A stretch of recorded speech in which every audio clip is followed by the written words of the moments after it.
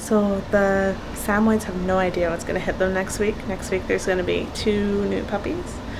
But I just caught such a cute moment. I hope they're still like that if we walk over. Look at them now in the office. That one's Zora. And Zero is all nestled into her. Hi, cuties. Oh, yeah. Cute dog.